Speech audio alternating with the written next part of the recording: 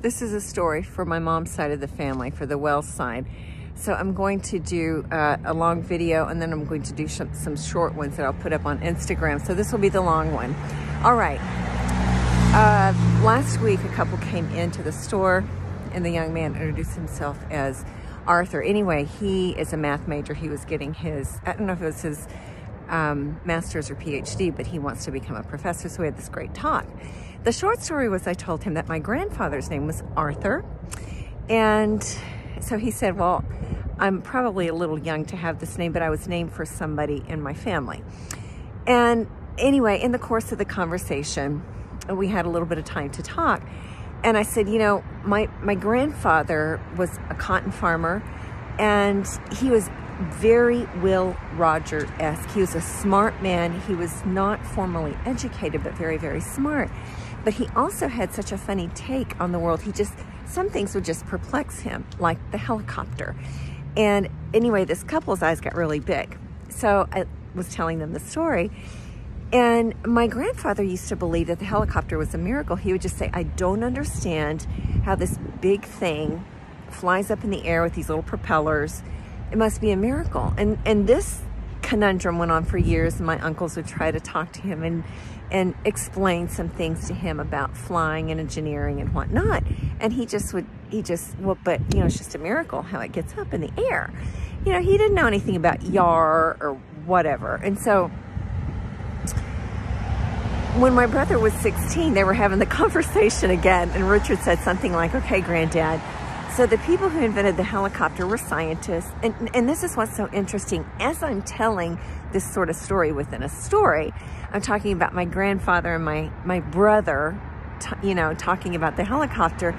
The couple listening on were nodding. Like, like they had been there in the conversation, which was really cute. They're like, yeah, that's right, they were scientists. And then um,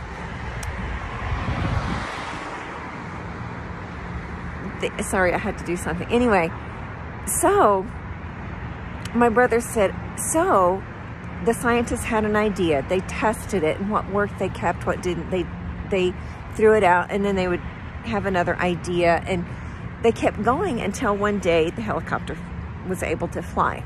And my granddad said, well, okay. So here's what the couple said the other day, last week. They said, that's exactly what happened. And, and I, now I'm perplexed.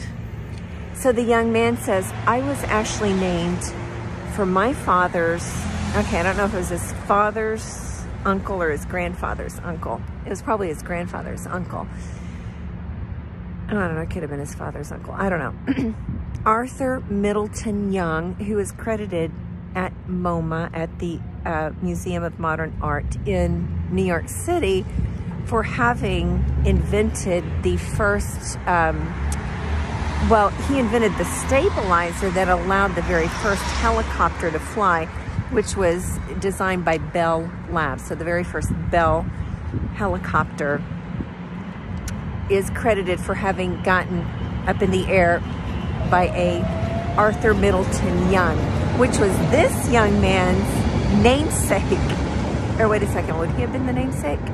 It doesn't matter.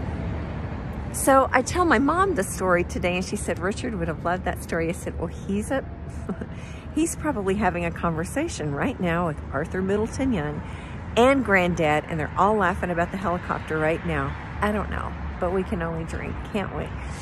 So anyway, that's for you, my Wells family. I hope that you enjoyed that story. Thank you for watching.